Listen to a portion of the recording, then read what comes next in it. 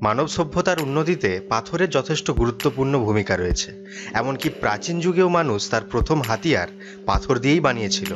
আর এই পাথর দিয়েই মানুষ কোথাও অতীব সুন্দর, আবার রহস্যময় স্থাপত্য নির্মাণ করেছে যুগে যুগে। দুনিয়া জুড়ে নানা রকমের পাথর দেখা যায়, যার মধ্যে বেশ কিছু সাধারণ, আবার অনেকগুলি অত্যন্ত মূল্যবানও বটে। কিন্তু আপনি কি জানেন, দুনিয়া জুড়ে এমন কিছু পাথরও আছে যা খুবই অদ্ভুত এবং রহস্যময়? বন্ধুরা, আজ আমি আপনাদের এরকমই তিনটি পাথরের কথা বলব যা অত্যন্ত অদ্ভুত, কিন্তু বেশ চমকপ্রদ। আর তার মধ্যে তো এমন একটি পাথরও আছে যাকে সত্যিকারের জীবিত বলে মনে করা হয়। তাই ভিডিওটি একদম স্কিপ না করে পুরোটা মনোযোগ দিয়ে দেখতে থাকুন, না হলে অনেক কিছু মিস করে যাবেন। তাহলে চলুন এবার শুরু করা যাক। রহস্যময় পাথর নাম্বার ওয়ান, রিঙ্গিং রক্স। পাথরে পাথরে ঠোকাঠুকি করে আমরা সকলেই ছোটবেলায় খেলতাম। ঠকঠাক শব্দ করতে বেশ মজা লাগতো তখন।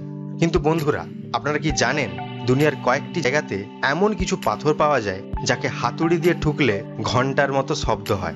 হ্যাঁ একদম ঠিক শুনলেন। সেগুলি ঘণ্টার মতো ঢং ঢং করে বেজে ওঠে, কোনো কিছু দিয়ে আঘাত করলেই। খুবই অবাক করার মতো ঘটনা এটা। রিঙ্গিং রক দুনিয়ার কয়েকটি ক্ষেত্রেই খুঁজে পাওয়া যায়। যেমন ringing rock park, Pennsylvania, USA, bell rock range, Australia, hill of the bells, Mexico, ringing stone, Namibia ইত্যাদি স্থানে। অনেক বিজ্ঞানী এবং জিওলজিস্ট এই পাথরের রহস্যের গিঁট খুলতে সচেষ্ট হয়েছিলেন। কিন্তু কেউই তার সঠিক ব্যাখ্যা প্রদান করতে পারেননি এখনও।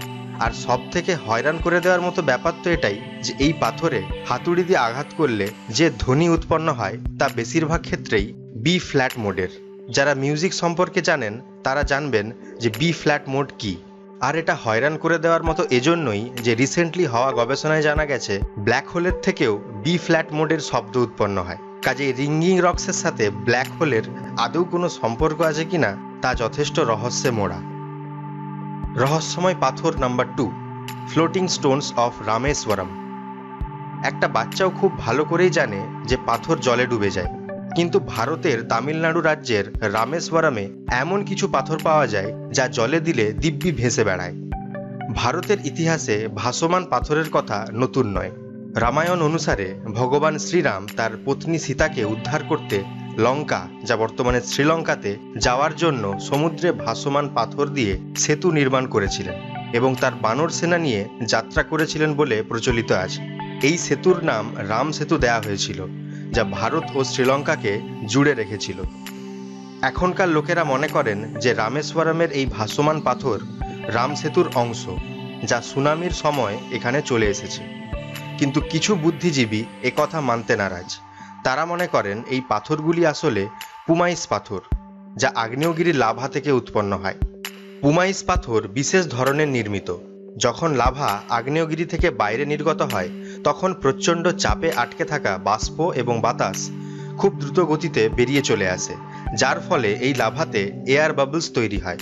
তারপর ধীরে ধীরে লাভা ঠান্ডা হলে শক্ত পাথরের মতো রূপ নেয়, কিন্তু খালি জায়গায় এয়ার বাবলস থেকে যায়, যার ফলে তার ঘনত্ব জলের থেকে কম হয়। আর সেজন্যই পুমাইস পাথর জলে ভাসতে পারে। কিন্তু এই পাথর জলে খুব বেশি সময় ভাসতে পারে না।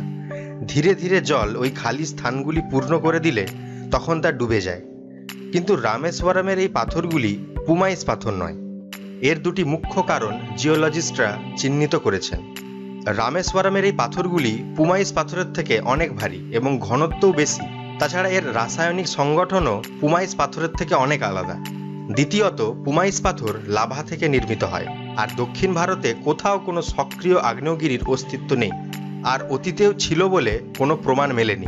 তাই রামেশ্বরমের এই জলে ভাসমান পাথরগুলির রহস্য এখনও জিওলজিস্টদের হয়রান করে রেখেছে। রহস্যময় পাথর number three living stones of Romania ছোটবেলা থেকেই আমরা পড়ে এসেছি, আমাদের আশেপাশে দু রকমের বস্তু থাকে। এক হলো জীবিত বা সজীব, আর অন্যটি হলো জড় বস্তু, যার মধ্যে কোনো প্রাণ নেই। আর যে কোনো পাথর তো অবশ্যই জড় বস্তু হবে, এ নিয়ে কারও কোনো সন্দেহ থাকতেই পারে না। কিন্তু রোমানিয়াতে এমন এক পাথরের খোঁজ পাওয়া যায় যা জীবিত প্রাণীর মতো আচরণ করে। হ্যাঁ ঠিকই শুনলেন আপনি। এগুলি ট্রোভান্স নামে পরিচিত, যার মানে হলো সিমেন্টেড স্যান্ডস।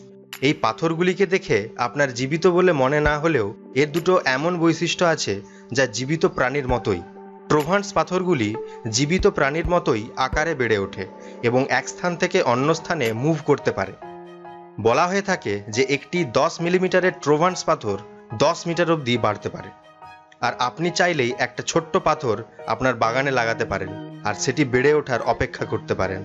এই পাথরগুলি প্রত্যেকবার বর্ষাকালের পর বেড়ে ওঠে। জলের সংস্পর্শে আসলেই যেন এদের মধ্যে প্রাণ চলে আসে। আর স্থানীয় লোকেরা মনে করেন এরা চলে ফিরেও বেড়ায়।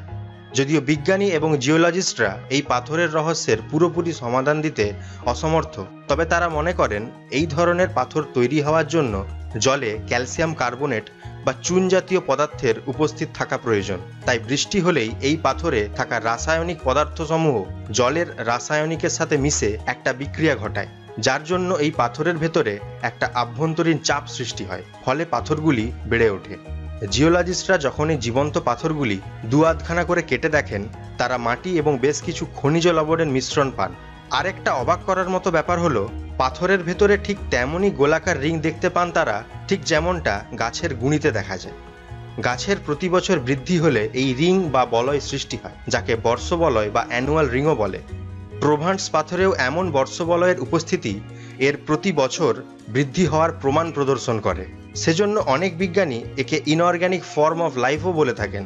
দু হাজার চার সালে রোমানিয়াতে ট্রোভান্ট মিউজিয়াম ন্যাশনাল রিজার্ভের স্থাপনা করা হয়, যাতে এই অদ্ভুত ও রহস্যময় লিভিং স্টোনকে সংরক্ষণ করে রাখা যেতে পারে।